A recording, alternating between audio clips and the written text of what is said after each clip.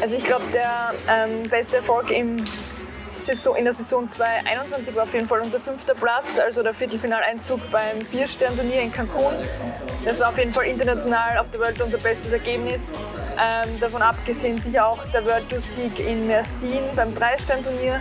Ja, und dieses Jahr war auf jeden Fall das emotionalste für uns das Heimturnier in Wien, wo wir beim Nations Cup Vierter geworden sind ja, und wirklich eine super Leistung erbracht haben. Und ich glaube, da hat man auch gesehen, mit was für einer Leidenschaft und Emotion wir dabei sind und diesen Sport einfach lieben. Und auch die Qualifikation für die Weltmeisterschaft plus der 17. Platz war auch trotzdem ein großer Erfolg. Wir sind auch wirklich durch Höhen und Tiefen gegangen gemeinsam. Und ich glaube, einer der schönsten Momente war auf jeden Fall unser Europameistertitel, also bei der U20-Europameisterschaft in Tel Aviv 2011. Und ich glaube, das war auch so der Startschuss für das, dass wir gesagt haben, wir wollen Profis werden, wir wollen ja, alles dafür geben, wir lieben den Sport und ich glaube, das war schon einer der emotionalsten Momente für uns. Also so großes Ziel ist natürlich die Teilnahme an den Olympischen Spielen für 24 in Paris. naja, Volleyball bin ich schon sehr lange dabei, also ich habe mit sieben zum Volleyballspielen angefangen, aber in der Halle natürlich, ja, und Beachvolleyball habe dann noch mit einer Partnerin aus Hartberg so ein bisschen die C-Cup-Tour gerockt und dann eben durchs Nachwuchsnational, eben durch Stefan Hömberg, sind wir seit 2010 ein Team eigentlich. Also bei mir war es, also ich spiele noch nicht so ganz so lange Volleyball wie die Katharina. Ich habe dann erst mit, ich, mit 12 oder 13 angefangen, im Verein zu spielen und habe dann eigentlich so in der Schule das erste Mal Beachvolleyball diesen ähm, Beach, Schuh Beach Cup gespielt.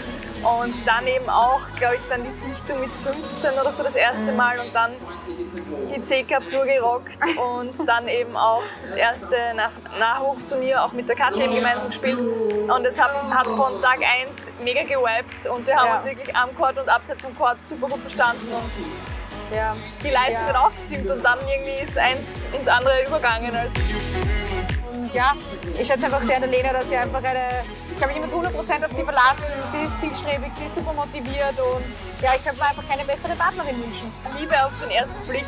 Danke. Und auch noch heute. Und es ist auch wirklich über die Jahre, wir haben einen extremen Prozess gemeinsam durchgemacht. Ich glaube, wir haben uns auch extrem persönlich weiterentwickelt und auch das Miteinander extrem immer mehr sozusagen optimiert. Ich finde Beachvolleyball ist generell ein sehr fairer Sport und ich glaube, das merkt man miteinander zwischen den Spielern, zwischen den verschiedenen Teams, dass es einfach großes harmonisch ist und mit vielen Spielern von anderen Teams ist man sowieso auch befreundet und hat einfach eine gute Zeit. Also, da sind wir, glaube ich, alle erwachsen und fair genug. Ja.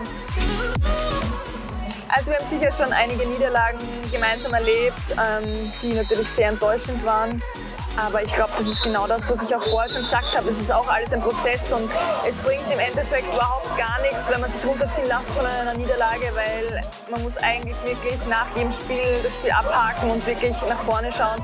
Ja, und ich finde, das Wichtige ist auch, dass man nach einer Niederlage trotzdem sachlich das analysiert, woran hat es gelegen, warum haben wir verloren und dann trotzdem auch versucht, positive Dinge zu finden, weil auch in jeder Niederlage ist trotzdem irgendwas Positives und trotzdem dann die positiven Dinge mitnimmt und versucht, die anderen Dinge einfach zu verbessern.